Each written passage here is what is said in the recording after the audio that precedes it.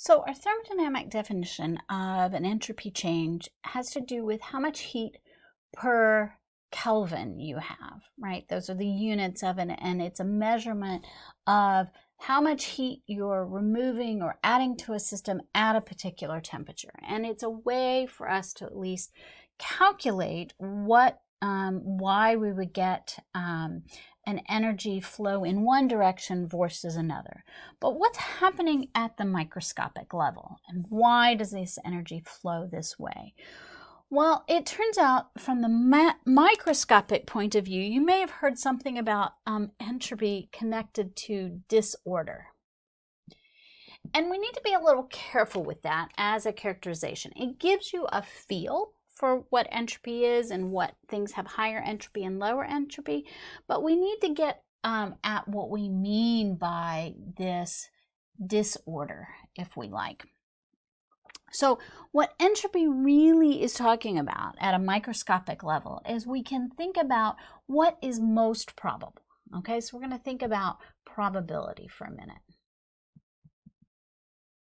So, if you have a pair of um, dice, and so you roll the dice and you get um, uh, snake eyes, a one and a one, you know that's not as likely. So for a total of two, um, if you're trying to move so many pieces on, on a board, like you get ones, you get a two, or if you're playing uh, Settlers of Catan, then you uh, you know that's not a very likely tile to sit on. Whereas uh, a very common roll would be a roll of where the total is 7. Okay, equals 7. There are lots of ways to get 7, right? You can do a 3 and a 4. You can roll a 1 and a 6 or a 6 and a 1. You can run a 4 and a 3. There are lots of ways. So there are lots of rolls, rolls that give you a total of 7. There's only one roll out of 36 possible rolls to give you a value of 2, similarly to give you a value of 12, right? So we can go all the way to 6 and 6. And it became a bigger die equaling 12, there's only one roll. So what's more common? You're going to get a total of 7 more often than you're going to roll a 12 or a 2. And in Catan, this is the robber. So those of you who don't play that, don't worry about it. The point is, is there, there are more ways to get a total of 7 than there are to get a 2 or a 12. But rolling a 1 and a 1 is just as likely as rolling any other combination if you call them in a, out in order. If you say, okay, I've got two die, one is red and one is white. I want a 1 on the red and a 1 on the white. That's just as likely saying I want a 2 on the red and a 5 on the white, which is one way to get you a 7. So we can describe what's going on in the particular configuration. This is what we would call a microstate. This is the particular, and this is an example of a macrostate. Now, this is not particularly useful when we're talking about melting atom, you know, melting blocks of ice or something like that, but this gives us the, uh, the idea here of a microstate versus a macrostate. And we can extend it past two die to get at this order disorder. If you're playing Yahtzee, which is where you roll five die and you try to get different combinations, if you get five ones, you're really happy, right? It's a Yahtzee. Um, you get lots of points for this. Um, that's not as likely, right? Well, is it? That's the question. We'll make this a three, four, one, four,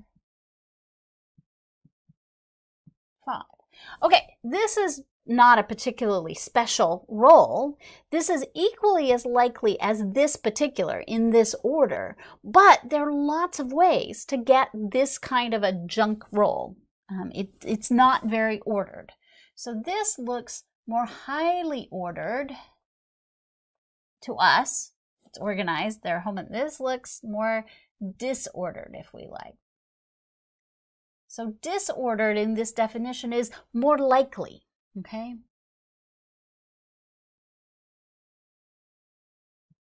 For some people who organize, um, I don't know, their socks um, in pairs and then by color, like from white, um, all the white socks and then uh, in a rainbow order. There may just be one particular order where the socks are organized exactly the right way. I'm going to assume your sock drawer doesn't look anything like that.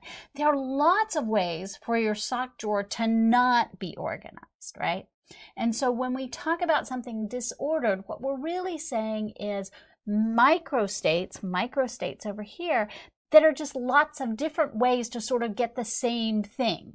So you could have everything is in rainbow order, for example, but a disordered combination is just move one of the socks or move two socks or three socks. That's more disordered.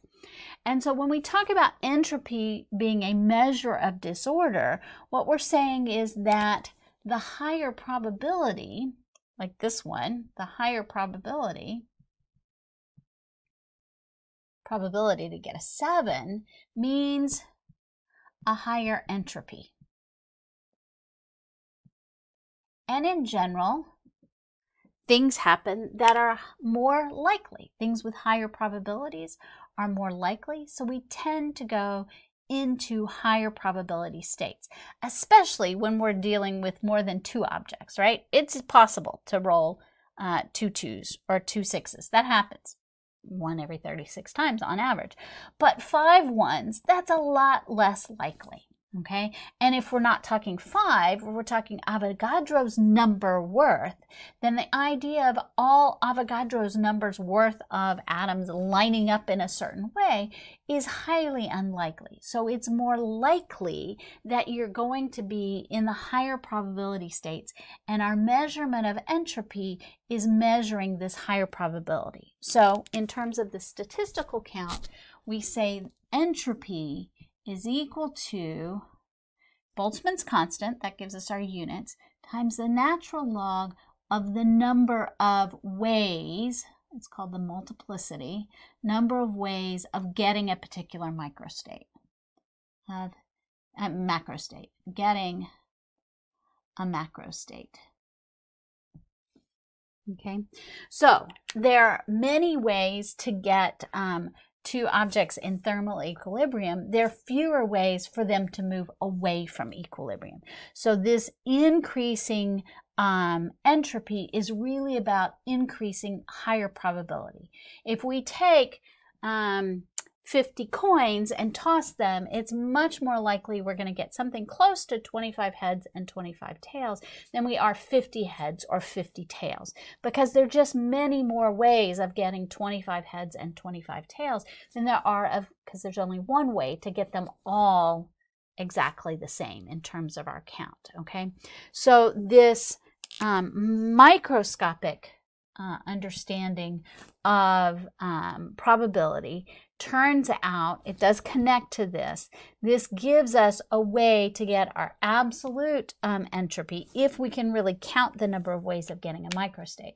Once we talk about atoms and in lattices and things like that, we can start to describe the number of different ways to get a particular macrostate, a particular temperature. But what we see is that as our um, as our temperature decreases, then we can get um, sort of less motion in our crystalline solid and we can tend toward uh, zero entropy as we tend towards absolute zero. Okay, and so that's a way of describing uh, this uh, connection between entropy and temperature. And so this sort of gets us to the third law of thermodynamics in a very hand waving way that says as our temperature goes down, our entropy approaches a constant value, generally approaches zero.